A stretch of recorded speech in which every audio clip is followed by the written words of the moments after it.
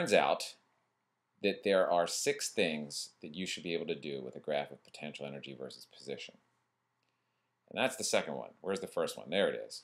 So the first thing you should be able to do is determine the total mechanical energy that an object would have that is in the region of space that's represented by the graph. To do that, you always have to be given some initial piece of information. Usually you'll be given the mass of the object and something about its speed at a certain location. So at x equals negative 0.1, this thing has a speed, a velocity of zero. Sometimes you'll just be given the kinetic energy at a certain position. Um, but either way, what you need to do is figure out what the kinetic energy is at a particular location where you were given the initial information. So here, using the formula for kinetic energy equals 1 half mv squared, I can put in this, well, I don't even have to put in the given information. It says it's at rest. So the kinetic energy is 0 at x equals negative 0.1. So how do I find the total mechanical energy? Well, total mechanical energy is always equal to potential energy plus kinetic energy added together. So you want to look at the location where the initial information was given, and that location is x equals negative 0.1. So here's x equals negative 0.1. When I come up on the graph, I find out that, oh, at that location, it has one joule of potential energy. So the graph tells me it has one joule of potential energy. And then the given information tells me that at this location right here, it has zero joules of kinetic energy. So you always have to put together a potential energy from the graph and a kinetic energy that's been given. Add them together, we get a total mechanical energy of one joule. So I just figured out the total mechanical energy of the object. So that leads to number two, which is recognizing that in the absence of friction, the total mechanical energy will remain constant. So we decided the total mechanical energy is one joule. And so typically what you will do is draw that on the graph. So let me get something to draw with here. And here we are at one joule and I'm just going to make a horizontal line at one joule. Why is it horizontal? Because the total energy stays the same. That's the law of conservation of energy. And so that's a really important line. That's the total amount of energy that this object has. All right, so once we've done that, you might have to find the kinetic energy or the speed at any point in the graph. So in this example, Let's say we want to find the kinetic energy and the speed at x equals 0.5. So how do you do that? Well, here's x equals 0.5. Uh, right about there, I would say. What you need to do is go up and read the graph and see how much potential energy it has at that location. And I would estimate that it has about 0.2 joules. So the potential energy at that location is about 0.2 joules. Now what we know is it always has a total energy of 1 joule. That's this line right here. And we also know that total energy is equal to potential energy plus kinetic energy. So let's put it all together. Total energy is 1 joule. From looking at the graph, we can see that the potential energy at that location is 0.2 joules. And so the only thing we need to find is kinetic energy. It's going to be 0.8 joules. So that's why knowing the total energy is so important. If you know the total energy, you can read the potential energy at anywhere on the graph, and what's left over is the kinetic energy.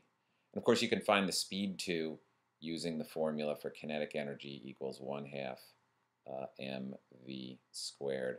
So in this case, we would have 0.8 equals 1 half, and this object had a mass of 2. Not very good writing here, uh, v squared. And you can solve that. I'll leave you to, uh, to, to solve that, but that's how you would do that.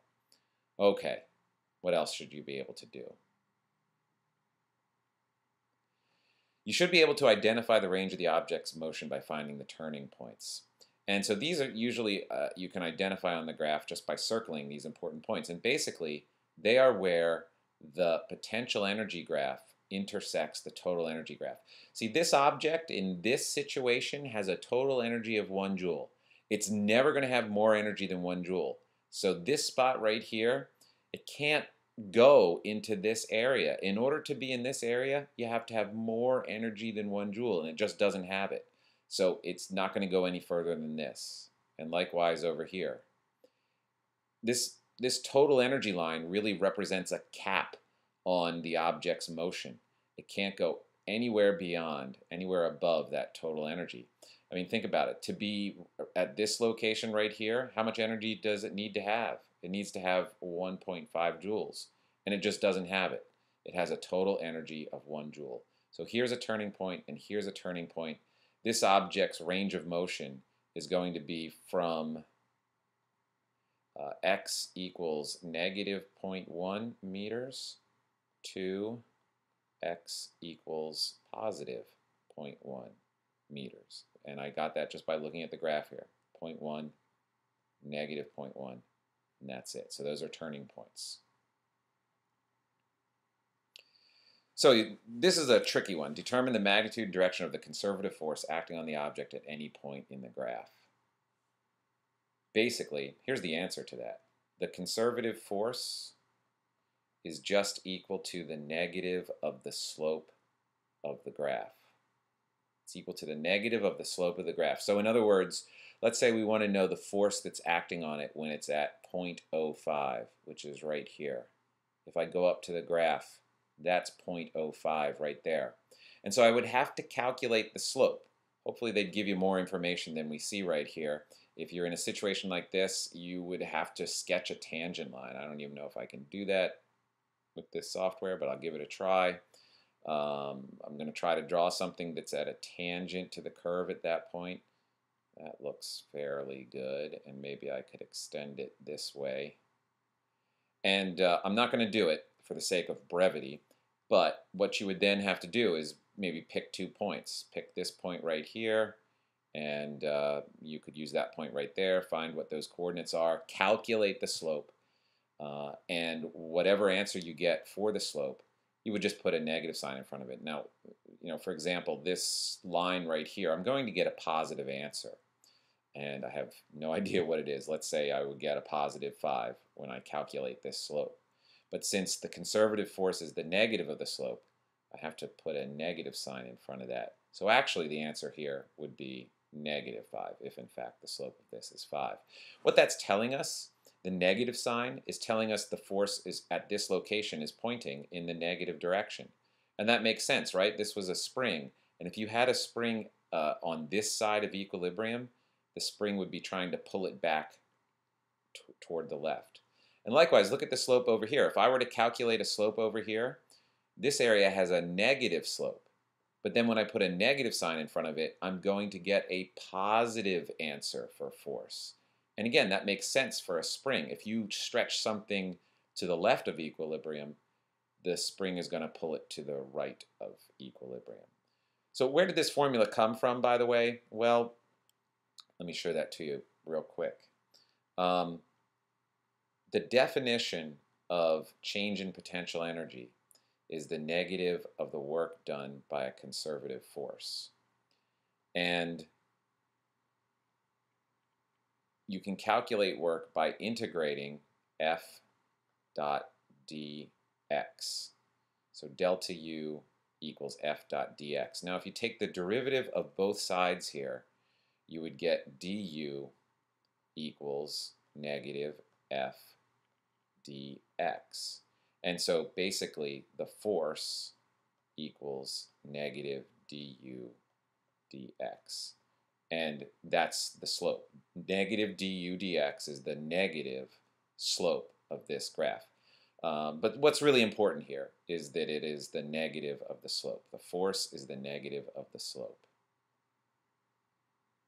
All right, last skill, recognize where the object is in equilibrium and what kind of equilibrium. Well, equilibrium has the word equal in it. It basically means where all of the forces are balanced. Yeah, that's what the word balanced. Sorry about that. Um, in other words, when you add up the forces, they equal zero. That's what equilibrium is.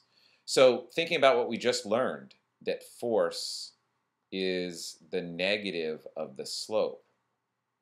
We're looking for the spot where the slope is zero, and that's going to be any horizontal section. So this area right here, right at that location, has a slope of zero. So that's a spot where the force equals zero. That would be a point of equilibrium. And think about it. Going back to our spring example, this was where we said the spring was at its relaxed position. Zero is where the spring's at its relaxed position. That's where the spring doesn't exert any force. So it, it certainly matches our information on this particular graph. Now it turns out that there are three different types of equilibrium and you should be able to recognize all of them. One type of equilibrium is called stable equilibrium and that's what this is. And here's why. If you move this away from equilibrium, let's say I move it over here, which way does the force act on it? We already looked at that. Since this has a positive slope, but force is the negative of the slope, the force is going to pull it in a negative direction. In other words, if you move it away from equilibrium, the force wants to bring it back to equilibrium. That's very stable. If you do it on the other side, if you move it over here, this area has a negative slope you put a negative sign in front of that, you get a positive value for force. In other words, if you move it over here, the force wants to bring it back here. So no matter which side you move it, the force tries to bring it back to equilibrium. And so that's called stable equilibrium. And we actually call this being stuck in a potential energy well. Um, you can think of this as a well here. And so our original example where the object was released from here and had a turning point at these two locations, it would just keep going back and forth and back and forth around this equilibrium position. So that's a very stable situation. So that's stable equilibrium. Now, you can have unstable equilibrium. It doesn't exist on the graph that we were just looking at, but it is possible to have a potential energy versus position graph that has a shape like this in it. So, uh, you know, you could have a dip, that's stable equilibrium. You can also have a bump. And you could also have a flat section. This doesn't necessarily represent a spring. It doesn't matter what, what it represents. But imagine uh, right up here, that's a flat spot.